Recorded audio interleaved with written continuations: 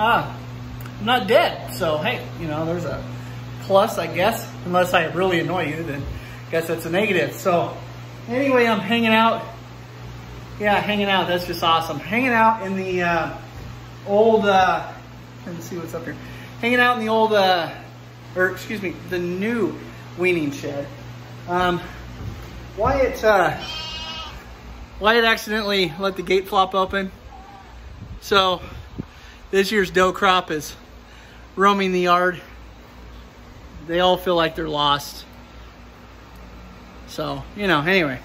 So, um, I would imagine this is going to come out after Shayna posts the video.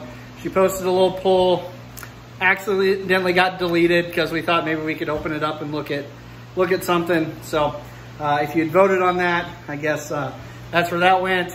So I don't expect everybody to go back and watch that just because of the way the country is right now. So um, anyway, uh, for anybody that didn't watch that because you didn't want to, that's fine. Um, we'll just say that it is uh, 88 degrees right now. It is 100 degrees heat index. The humidity is 68. The dew point is 76. So, um, needless to say, we also have a special weather advisory statement. I'm sure much of you, if you're in the Midwest, have it or have had it because of wildfire smoke. Um, why does that matter? If you watch that video, I currently am recovering from pneumonia and I have it still very prevalent in my lungs. I've only been out of the hospital, tomorrow will be two weeks. So um, I've, uh, I've been through one round of medication. They started me on a Symbicort inhaler, sent me home. I had a whole bunch of side effects uh, by day five. Uh, they switched me over to Advair, um, double dosing prednisone steroid, and I am on uh, twice a day uh, nebulizer treatments. So, needless to say, um, yeah, I haven't taken that nebulizer yet tonight, so we'll see how this goes. We're gonna make this pretty quick. Anyway, what I've got, and I see Shayna just got some, or somebody picked them up, she just hung some fly ribbons. Um, she cleaned this shed out today, as you can see. Most of the girls hang out in this one. Uh, they just like to be together, but lots of flies. Um, basically, I was sick for about a month. I'm still pretty worthless. Um, I gotta watch my oxygen, blood oxygen levels. So we're gonna try to make this a quick thing. I'll try not to die while I do it. Um, but I wanted to kind of show you setting up this product. Um, I don't know where my drill bits are, so I'll try to just use something to screw some eyelets in. But anyway, what we're doing is we have, let me just turn this around. Okay, so I know the sound changes a little bit here, but so we what we have, and I've kind of showed them before over in the kidding shed, which I need to fix that one. I got tangled up. But the Revenge fly reels. So it's just a giant reel with sticky scented attractant tape um, on it. And we used these last year in the kidding shed. We loved them. What you, we get them from Valley Vet. Um, I don't remember how much they are, but you need to get the mounting kit. The mounting kit comes with an empty reel, so you can run that one into this one. It comes with a bracket set, so you can hook both reels up. And then it comes with this hardware kit. So it comes with three pulleys and a handle. That handle we screw onto this one so we can reel that one into this one. And it comes with some long like hex head screws for putting those brackets in. So that's essentially what I'm gonna do because Shayna's fly strips, I think she just put these up today. Um, already caught a bunch of flies. They hang out on the ceiling. Um, I came in the other day just real briefly, sprayed in here. You can see them everywhere. If I would shut that fan off, they'll congregate. You'll turn it on, you'll feel like you're just getting a dead fly bath. So, um, like I said, it's, it's summer in Nebraska, just like all you experience. So as we know, if you get behind on fly care, um, they multiply super fast. You know, their, their lifespan is like three days. And so apparently our goats like to put themselves on the stand. So anyway, needless to say, with me being down for essentially a month, I'm still technically down. Um, I'm not really allowed to do chores or pretty much anything. Um, so this is probably a rare video of me over the next couple months, but um, I'm gonna get this up. Um, I like to put them up right off the ceiling where they all hang out. And once or twice a day, we'll roll this thing in and it'll be full. I mean, they work great. Every Clearly other things work. The scented traps with the fluid in them, they hang up. We've used those, they work. Um, but we just find in these sheds, they work really well. I cannot believe the amount of flies in here. I'm going nuts. So anyway, I'm gonna get this up. Um, I don't think I'm gonna video putting it up because frankly, I kind of broke the thing on the tripod, so it'd be a pain. So I'm gonna get this up so I don't use extra energy doing it, uh, and then I'll show you and break it down. Okay, so to start, this is kind of how you're gonna use this reel. So that's gonna be the top for mounting, however you wanna do it. Um, but this piece down here, there's a hole there and a hole there, and there's a couple hairpins in this kit down in the bottom that will hold that in place. But like I said, our handle will also go on here and there'll be a little bolt that goes through that. So we want to kind of keep all that in place, but that is essentially how you'll use this to bolt this up. So I'll put both of them up like that. And what I'll probably do, um, we're gonna leave the fan on just for heat and for airflow. So that way when they come in to eat, they've got some airflow to keep the flies off. But I'll keep this above the airflow. I'll mount it probably here near the fan. So it'll probably, sorry, I can't hold everything. It'll probably be something like this um, to where I can run the full reel kind of out of the wind and I'll run it down and we'll put a pulley, a couple pulleys across and we'll wrap the new one back on that side. The other ones, what I did is I started them like midway and then you're kind of always in them. So if I can keep them over to the edge and kind of keep it so we can walk around in here without it interfering with us and end with our other one here, that's probably what I'll do. So I'll jump on it. Okay, so I've got that screwed up there. I am just a hair under six foot. So, you know, if a young goat stands up on the wall, that's the height of the um, Tarter small animal hay feeder. So I'm hoping, you know, we can keep them out of it. So I want to say ceiling height's about seven foot um, when I build it. So hopefully this will keep it up. I still have room to move it up. As you can see, we've got a clip down here to hold that. It comes with three pretty long screws to attach those so you can use whatever you want. Um, up top here, you can see we still have that hole and this handle is gonna go like that and then it'll have a clip. Um, also, you can see these two little holes. This little screw and nut will go through, sorry, I just can't figure myself out. It'll go through there and it'll go through one of these holes. So that way I can, from the top, twist it and reel that in. I don't know if that's gonna be the best, but that's what we're gonna try for this time. Ultimately, when you set this up, you wanna set it up to where um, you can kind of keep your string line up with your pulleys. When I did it over in the kidding shed, I have it set up like in the middle, like here and here, and then it goes out to the wall and kind of makes a triangle. I've got some extra pulleys in there. Um, it doesn't create very clean lines, uh, especially on the one where I'm drawing it in. I'm pulling it like this and it has to pull at an angle so it jumps off the reel. I need to turn that reel. So that's probably just a little thing. Make sure they line up. It just helps because uh, it's so sticky that unless you wear gloves, it's a pain to touch and, and restart um, just because it's so darn sticky. So I guess that's just one little point to mention.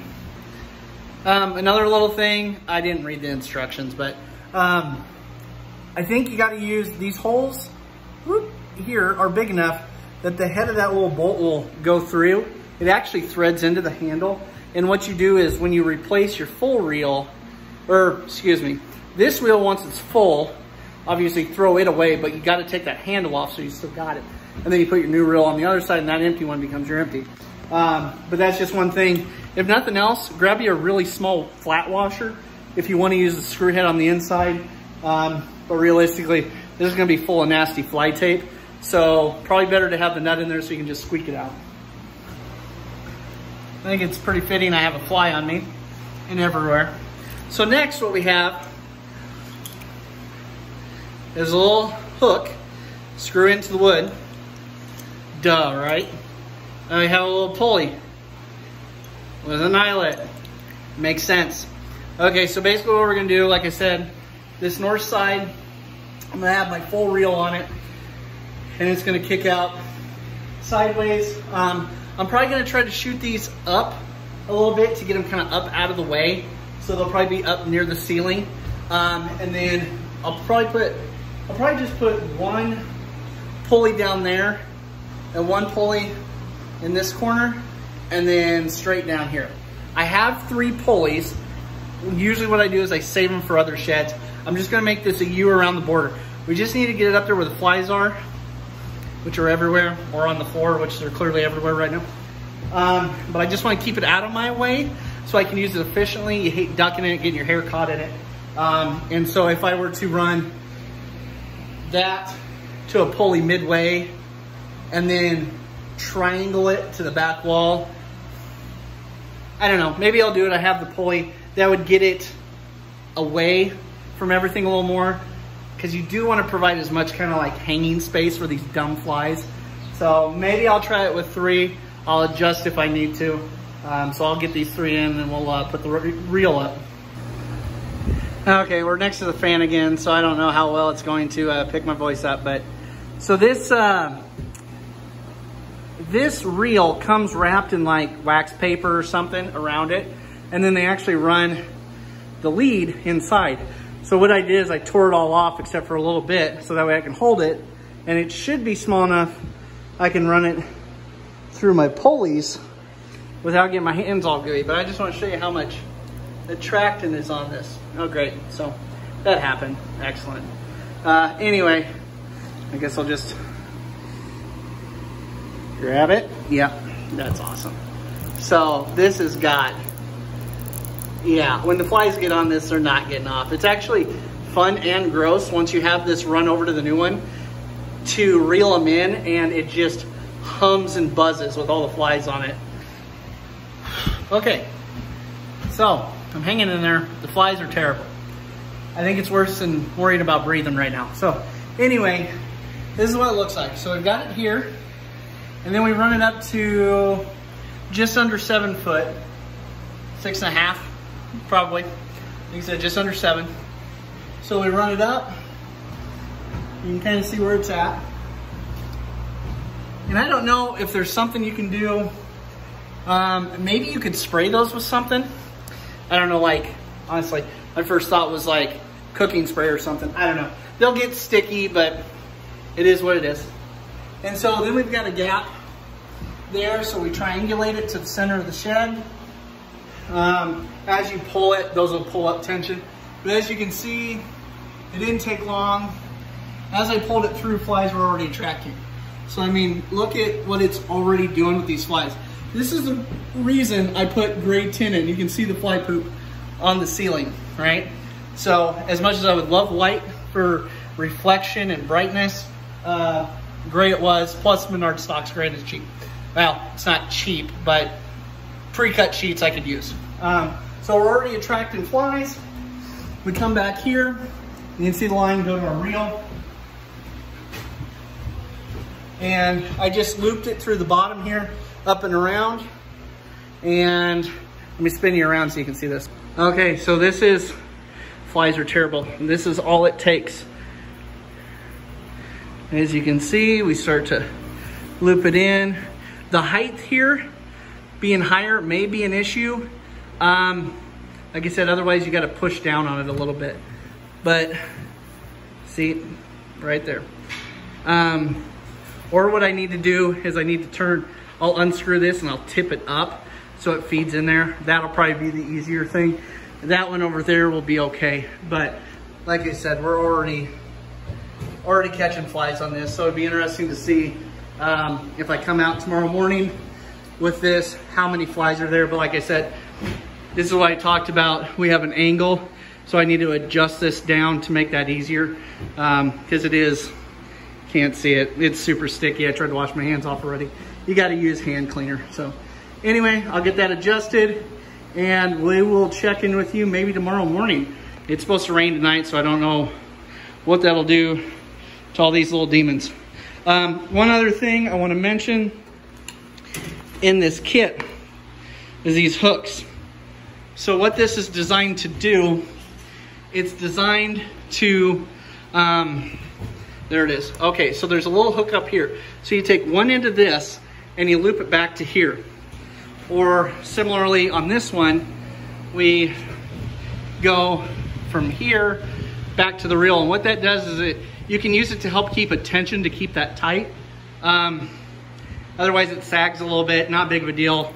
We've lost some of these in the bedding and manure before, so um, it happens, but you can see how it's got a sag. So if you wanna keep that tighter, a little bit tighter, you can use these hooks. But like I said, I broke my own rule, having it straight. I'll kick that up and we'll check in with you tomorrow. All right, well, we're back. It is Saturday, July 31st, and I told you we would check in on our fly reels. Um, ended up getting some rain last night, got an inch 60, so yeah, so that's gonna help these crappy flies multiply. So all the girls are in here, fans off, because I think my electrical plug-in got wet. So, holy smokes. Yeah, there's a lot of flies in here. I need to spray. The girls have tons of flies on them. Terrible. Anyway, let me flip the camera around and let me show you how many flies this reel catches. See, there's how many the reel catches. And then look at all the flies. I mean, just solid.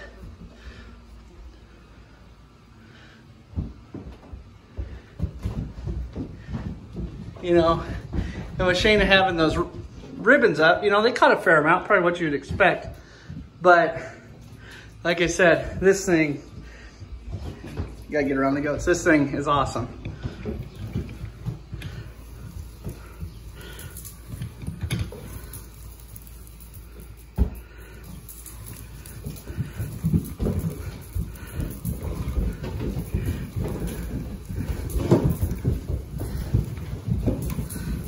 So my angle, as you can see, is still a little too severe. I need to bring it down just a little bit.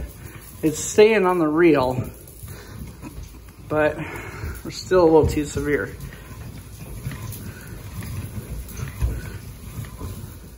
Like I said, guys, tell me this thing doesn't work and work in bulk. And we still have a lot of flies in here. I mean, this is just, hopefully makes a small dent in the grand scheme.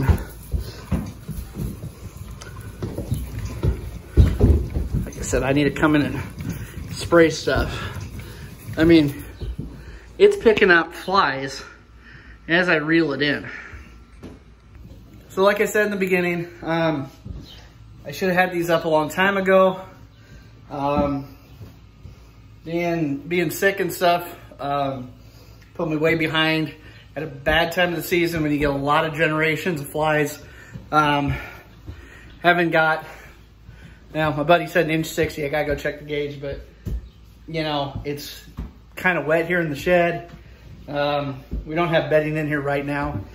Um, usually they're fine just laying on the wood at this time of the year, but I need to get in here and spray this. We've got a lot of little goat poops on the floor. Um, come in soak this with some permethrin, I think is what I got, um, or something similar. Um, some flies are resistant to that, so keep that in mind. I mean, tell me that's not kind of satisfying, seeing a bunch of dead flies, but anyway, I'm going to uh, probably go back in the house. I just just made some pork tenderloin for lunch. Uh, we'll keep up with this. I'll get some spray on these goats. Again, I'll get some spray in the shed here probably a little bit later. Um, just try to give them as much relief as possible. I'll mix some spray up. So if Shannon wants to spray everybody else when she feeds again, we have that option. So anyway, guys, um, I just wanted to show you how well those reels work. Um, like I said, I know the can thing or whatever, the plastic catch deals work too, but uh, I feel like I get on a regular basis, I get more kill or catch with these reels than um, anything else. So with that, give it a try and let me know how it works for you.